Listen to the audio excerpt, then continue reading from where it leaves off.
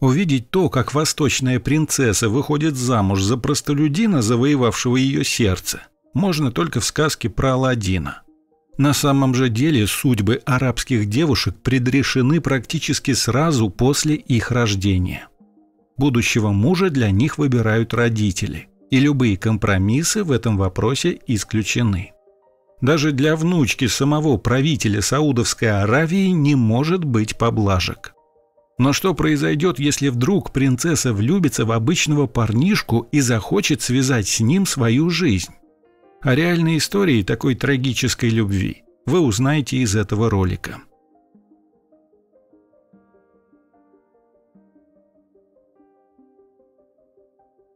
Итак, начнем с небольшой предыстории.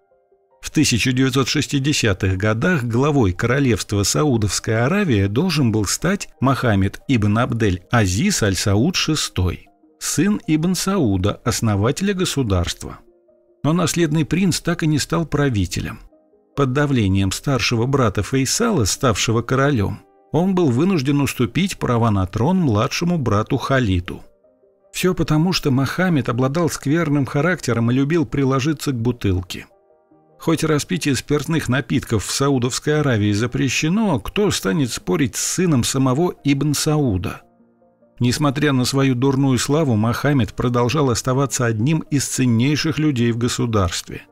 У него часто просили советов сначала король Халид, затем король Фахд. Кроме того, он считался самым богатым членом королевской семьи Саудовской Аравии.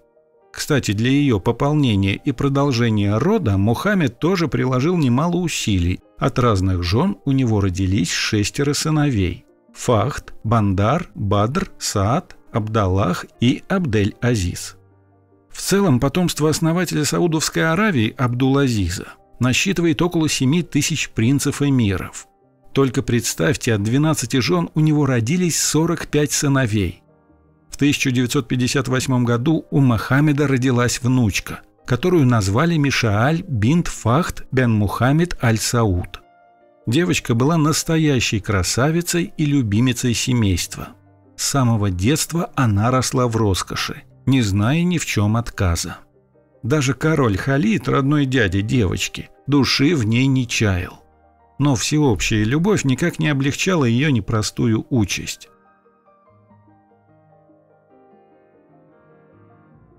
Дело в том, что Мишаль фактически не могла распоряжаться своей судьбой. Как только юная красавица подросла, родители решили, что выдадут ее замуж за одного из великого множества кузенов-принцев. Какого именно, это не важно. Главное – продолжение рода. Все остальное никому не нужные формальности. Перечить родителям было бессмысленно. Однако девушка заявила, что до замужества хочет получить высшее образование – Отказать своей любимице они не могли, поэтому отправили ее учиться в университет в Ливане. В Саудовской Аравии на тот момент возможности получить образование для женщины не было.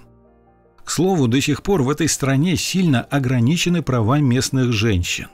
К примеру, если девушку изнасилуют, то перед законом будет отвечать именно она, так как якобы спровоцировала насильника – в Ливан Мишааль отправилась в сопровождении многочисленной охраны и прислуги.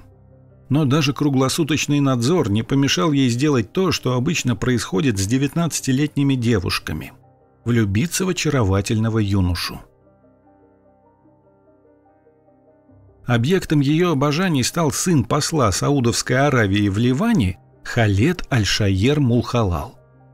Если в России сын посла, скорее всего, принадлежал бы к сливкам общества, то в Саудовской Аравии, стране, где большинство властных функций осуществляют наследные принцы и миры, он считался простолюдином. Роман принцессы Мишаль и Халеда изначально не имел никаких шансов на счастливый финал. По законам Саудовской Аравии за любые внебрачные связи молодым людям могла угрожать смертная казнь. Решились ли влюбленные зайти так далеко, доподлинно неизвестно. Впрочем, уже такого факта, что принцесса осталась наедине с посторонним мужчиной, было достаточно для того, чтобы разразился скандал. Несмотря на весь риск, Миша и Халид продолжили общение. Так как девушка всегда была окружена многочисленной свитой, Держать их роман в тайне слишком долго не удалось. По возвращению в Саудовскую Аравию кто-то из слуг рассказал королю о странной связи принцессы с простолюдином. Тогда, осознав, что ее жизнь находится в опасности, Мишааль пошла на еще более рискованный шаг – попыталась сбежать. Девушка приехала в город Джиду, расположенный на Красном море. Бросила свою одежду у воды, надеясь, что ее сочтут утопленницей. Переоделась в мужские вещи и отправилась в аэропорт. Там по поддельным документам принцесса попыталась покинуть страну, но охрана аэропорта ее узнала и заключила под стражу.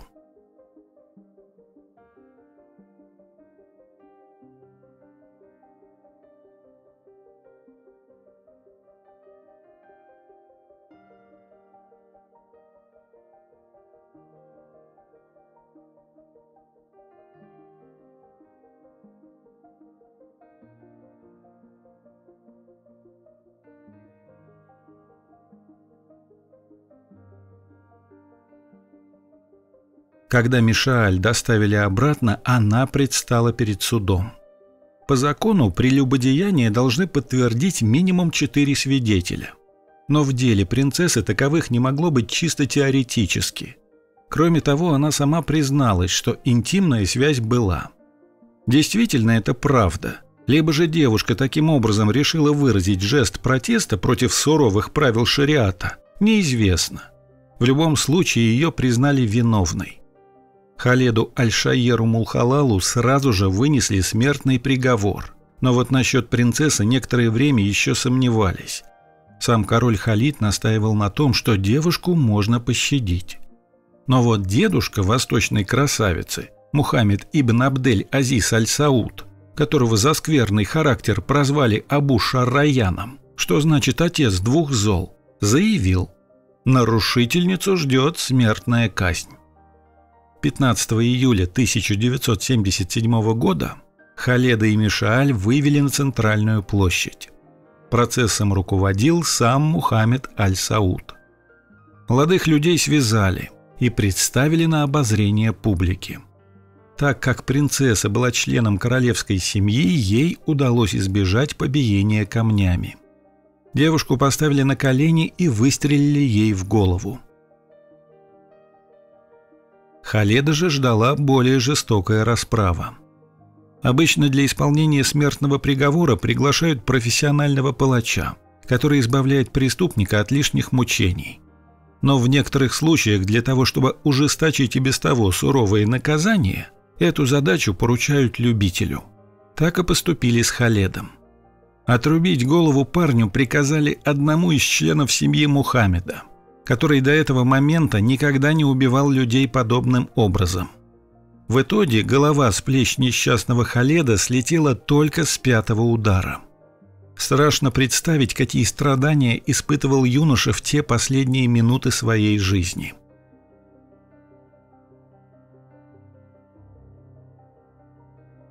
После этой истории права женщин в Саудовской Аравии были ужесточены еще больше – Мухаммед ибн Абдель Азиз Аль-Сауд признался, что никогда не жалел о том, как поступил с внучкой. По его словам, уже того, что девушка находилась в одной комнате с посторонним мужчиной, было достаточно для того, чтобы ее наказать. С момента казни Мишаль и ее возлюбленного прошло около 50 лет. Считается, что сегодня нравы в королевской семье Саудовской Аравии смягчились, и нынешние принцессы в своих поступках куда свободнее. Да и в целом отношение к женщинам в этой стране стало значительно лучше. Но вот в 2015 году верховный муфтий Саудовской Аравии Абдулазиз Али Шейх заявил, «Если мужчина будет смертельно голоден и не найдет дома еды, он может отрезать фрагмент тела своей жены и съесть его». Женщина должна отнестись к этому решению с преданностью и смирением, так как является с мужем одним целым. Правда, потом Муфтий сказал, что его не совсем правильно поняли. Вот такие они реальные восточные сказки. На этом у меня все. Спасибо за просмотр и до новых встреч.